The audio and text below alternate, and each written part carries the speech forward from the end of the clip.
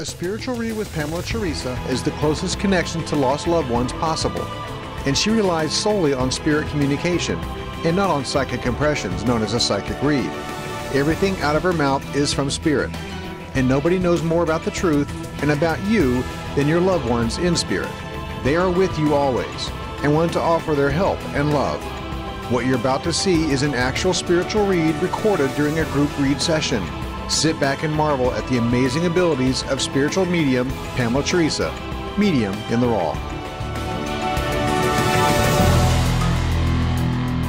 That tell me we have another cold case because these cold cases are starting to tick me off. No, they caught him within two days. Was it through the inter, there, there was some, um, there was some electronic evidence. Uh, they're showing, he's showing me there was electronic evidence, Yeah, there was they, stuff uh, in print that they were able to follow the trail. They, um, this ex-girlfriend went to the point of getting a job at a sports bar where he went in every Monday night in order to do this, and they followed him out. She hired two men. Well, don't tell me, um, but there was an electronic, he's showing me the electronic trail is The what they used as surveillance evidence. showed Okay. what happened on That's the why he's film. saying electronic. Mhm. This is why I'm going doo doo doo doo doo because they have this guy on surveillance, and They that's do. why I had to step back for a minute because this case that I'm talking about that I'm going to be looking at next Sunday, they have this guy on surveillance. But um, you have your your detectives did a great better job than what we're dealing with here. They're I don't know if they're getting overwhelmed or they're just getting sloppy, but. Um, Was this here in Jacksonville? No, Louisiana. Maybe that's the problem. so also too, he was talking to me about North Carolina earlier. Who? Where's the North Carolina connection? I own a home also in North Carolina. Okay, yeah, okay. So that's definitely him. Okay. Um, that is one of his, he loves that space. He loves North Carolina, so he's talking about North Carolina as being awesome. That I think is your, is your. That's uh, my piece. That's what he's saying. That's my piece. This is where you get good. You're okay with that. Um, did he have children? Talking about his children.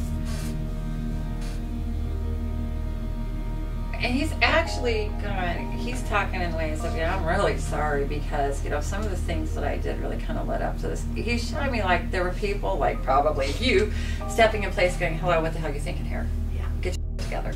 This this is not going to end well. So it's almost like you knew this is not going to end well.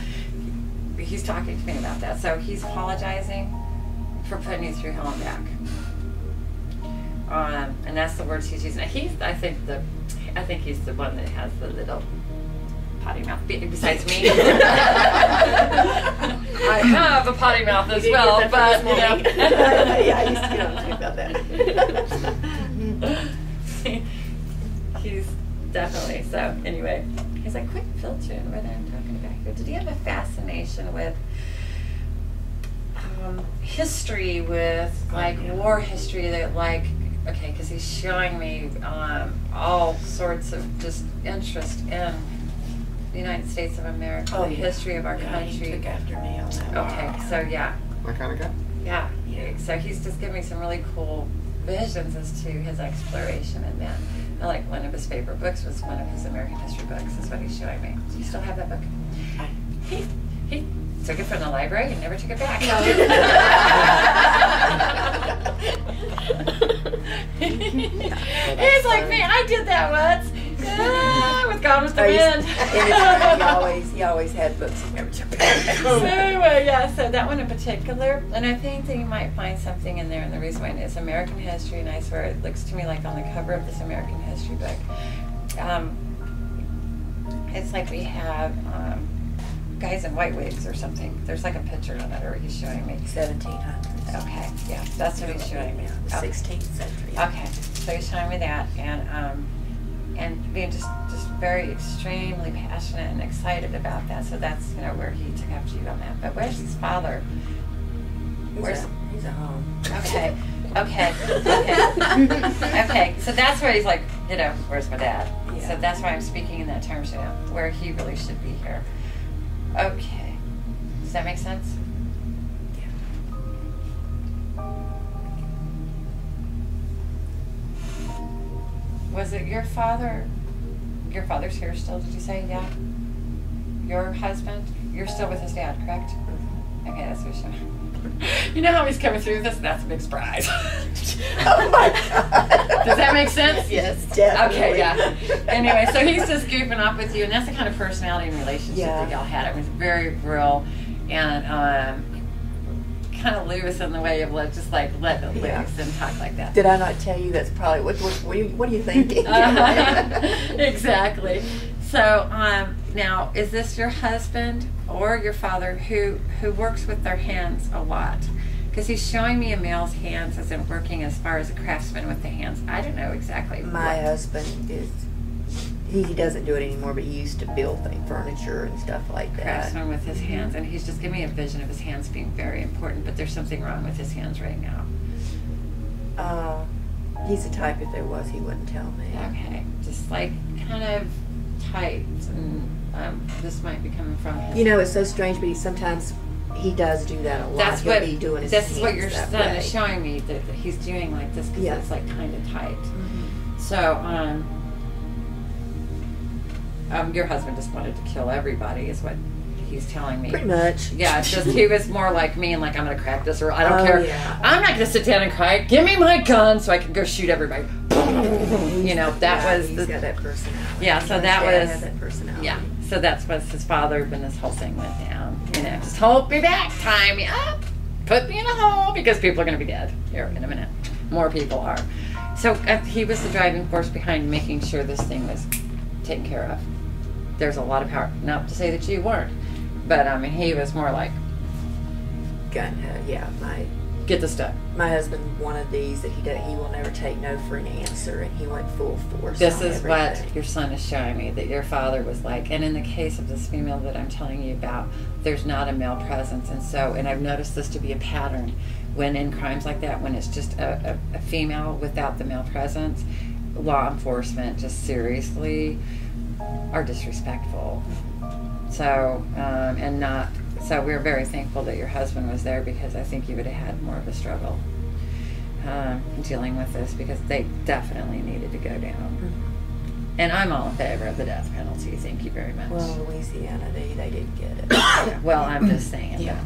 But, but, you know, it's personal. It's it's fair that we feel this way. You know, in cases such as this. But they'll have to atone for that when they pass over. Well, actually, they're Yeah. going to have to, and so it would be better just to put them to work anyway, and then they can work it out that way. That's why I'm like, I know there's truly no death, but seriously, get to work and start helping fix the messes that you made here. So that's why I'm like, the death penalty. I'm Now, if I ask him, go could he hear it and maybe Yeah, he's right here. Absolutely, he's with you. every day, every day I tell him I love him. And every day 5, 10, because he died the month of May at 10 o'clock when they declared him dead, when they took the life support system. I tell him no matter where I'm at or what I'm doing, I stop and I say, I love you, Joseph. Oh, of course he hears. And I, every morning going to work, I always tell him and talk to him and say, I love you, son. Of course, And I just want to make sure he hears Of course, okay, of course. He's also giving me snickerdoodles. Okay. Does that make sense as to why he's giving me snickerdoodles? That's a very unique cookie. It's not like everybody makes them with sugar cookies, but he's giving me snickerdoodles. Warm out of the oven, delicious to smell and such like that. So him liking cookies and such like that. So, but snickerdoodles. So, uh, maybe one of these times when you're smelling or thinking of snickerdoodles, this is my mission and purpose to link you in the same way I'm communicating with him. You can too. You do too. He is all up in your grill wanting to communicate. all of your family members are. They really do want to communicate and be a part of this. You see, um, and he said, make it more interesting. Okay, let's. Okay, this is not me. Do not take offense. He said, we can get off that note let's live together now. Let's have more communication in a different way. Because I, I know you love me. But let's make it more interesting here. So he's more of the one that liked to have a little bit, kind of like the pirate on the sea, wanting to have interesting experiences, kind of that um, adventurer. He was. Okay. It's the same, his personality is the same. Have fun with him, goof off with him in the same way you did. In the same way, you're going to see magic happen to where you really become one with this relationship. It's no longer that I miss you and it's it's 510, you died at 510. I miss you. He's like, go back to the moment of my birth and say, hello, bright eyes. Yeah. This is him, okay? All, all the words out of my mouth. And think of his birth because, and think of the beauty of who he was, and think of the beauty of who he is even now. Very much real, even more real. So, those, you know, who are transition and of universal knowledge, like he is, like my brother is, um, like your mother is, like your mother, like your mother, like your mother, like your brother, like everybody around. I know.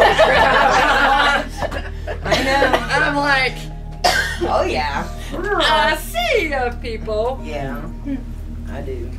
Think about them as who they are, who they were. That's their core personality. That's that's who they are.